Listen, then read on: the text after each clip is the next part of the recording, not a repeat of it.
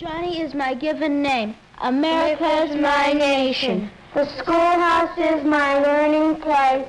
In heaven's my destination. Johnny is my given name. America is That's a rhyme children used to scribble in their school books a long time ago. A time when this school was built. A time when we were proud of being educated. Through the years, we've lost some of that pride, taken our education for granted, have even grown neglectful. All around us, things have been changing. We've gone from the one-horse shay to the space satellite. And now, suddenly, schools have a lot to do with national security and our survival. Now there's trouble. And we realize that the trouble is with brains and training and technology. Here's a gas station attendant. He works six hours a night, six nights a week. The difference between this gas station attendant and most others is that this one has a bachelor's degree and a master's in education. He's a teacher in a high school. And the reason he works in a gas station is that teaching doesn't pay him enough to support his wife and two children.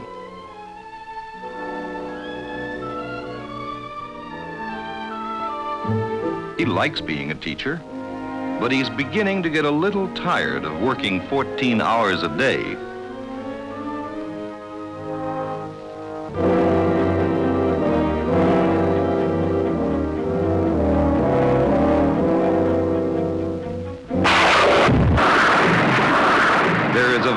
Real connection between the crisis in our schools and the crisis in American technology.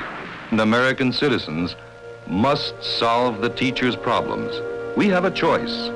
Either pay the price of devotion or pay a far greater price in years to come when our teacher shortage goes from the grayness of a crisis to the blackness of an American tragedy. America, no matter how we figure it, was short 159,000 classrooms in 1957.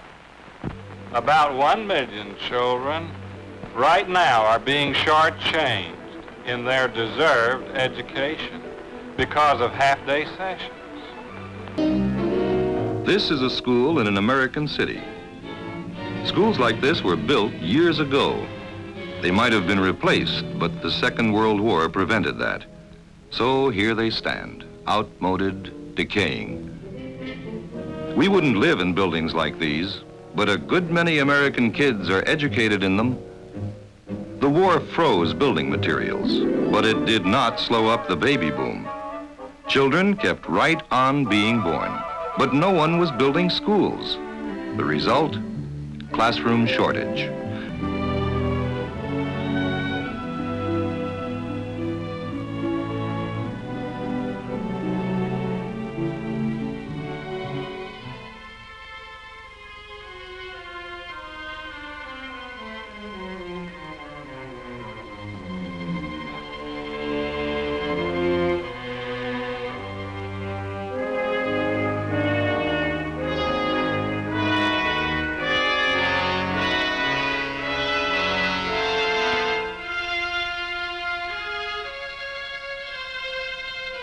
Aside from depriving a good many children of proper education, overcrowded classrooms mean overwork.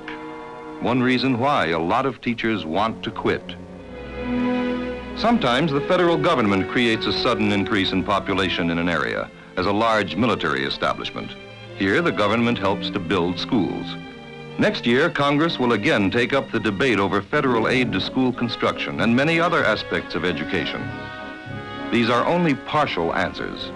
The main answer to the schoolroom shortage has to come from your local community. So far, your community has not solved the problems. New school. That's sure going to shoot the tax rate up. $40 this year, $42 next year. What we need is a little economy around here.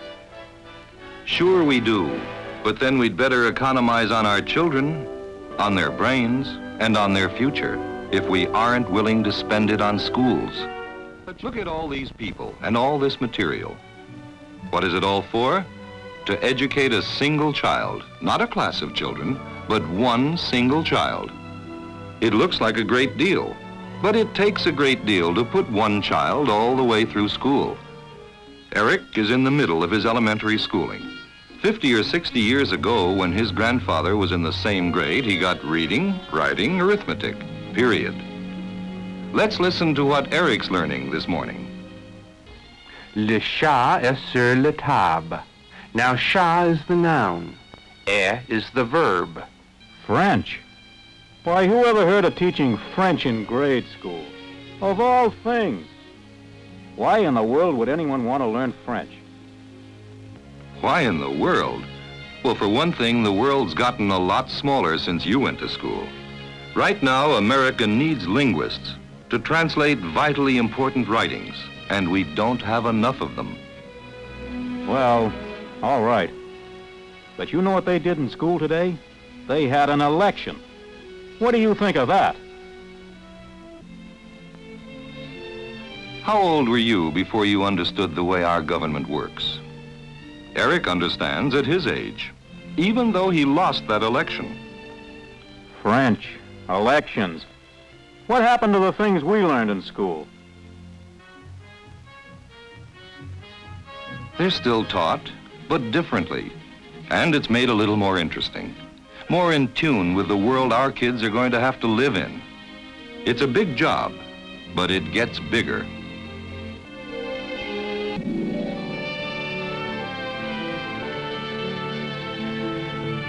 And Eric gets bigger. Suddenly he isn't playing on swings and slides anymore.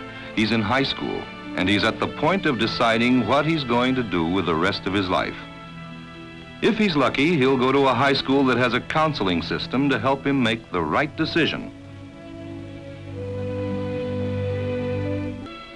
Well, we've gotten your test scores, and it looks to us as if you ought to think seriously about engineering. Now, there are several courses here I'd like to recommend to you. So, Eric agreeing, he starts in. Math classes, drafting classes, all the things his career will demand of him.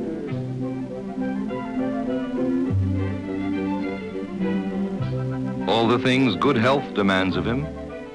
All the things that life demands of him. All the things that he demands of his school. That is the problem. How much we demand of our schools.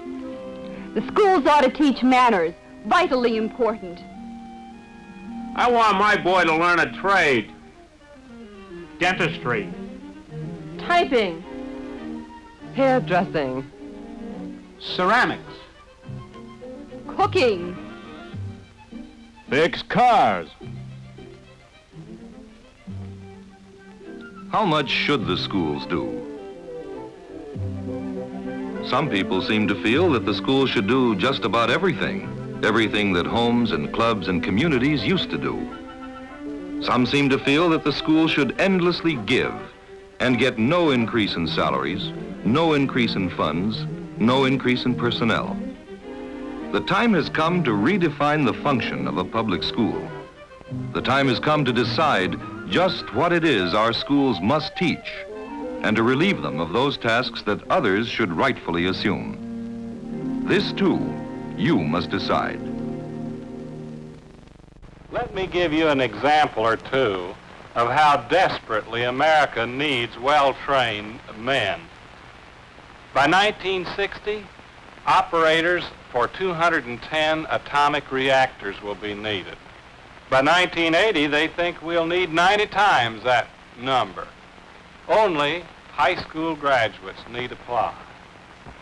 To meet all of these demands, we have one final problem. The problem of persuading young Americans to stay in school. Ten American high school students, and the statisticians have figured out just what's going to happen to them. Four won't finish high school for one reason or another. Of these six who will graduate, three will go on to college. And of these three who go on to college, one and a half will graduate. One and a half out of 10 now in high school will graduate from college. 150 out of 1,000, a pretty small percentage for a country that has suddenly come to realize that its survival depends on highly trained brain power. This girl just quit high school. Why? I just can't keep my daughter interested in school anymore. She wants clothes and a lot of things we can't afford to give her. Yes, she wanted the glamour and pay of a good job.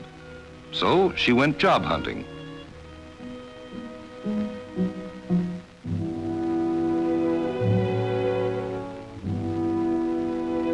Only high school graduates need apply. So she ends up taking what she can get. Tests have shown that she would be capable of much more with the right education. Sometimes a student has no choice in the matter. This boy should be in college. He works for a company which employs scientists and engineers. With enough education, someday he might have been a scientist or an engineer. But even though America desperately needs scientists, this boy sorts mail. America's problem is deeper than money. It's deeper than the need for aids and grants. The problem involves our entire concept of education, not just problems of teachers, classrooms, curriculum, and student dropout. Here is a problem for a big nation, a rich nation, a nation perhaps so content with the material that it has neglected the intellectual. The time has come for America to realize that our citadel now is the intelligence, imagination, and curiosity of the trained mind. We cannot fortify America's educational system with teachers who can make more by driving a truck in buildings unfit to house the children of America by the waste of latent ability. The answer lies not in the stars, but very close to every American as close as your own child, and as close as the school your child attends. If we understand our school's problems, spend for its services, comprehend its limitations, then shall we be armed, spiritually, physically. Then shall we have a peace rich with the wonders that only the mind of man can create. How do you want these youngsters to grow up? Mass taught? Because there isn't sufficient classroom space for them, indifferently taught because the teaching profession may fail to hold its outstanding people, half taught and prepared only for mediocrity because no one encouraged them to stay in school.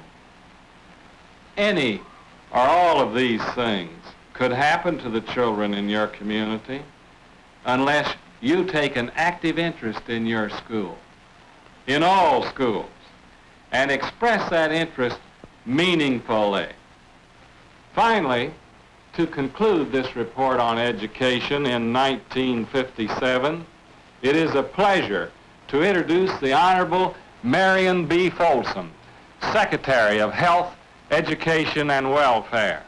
Here in America, the welfare and happiness of the individual citizen is the goal of our society. We believe this world is governed by moral law.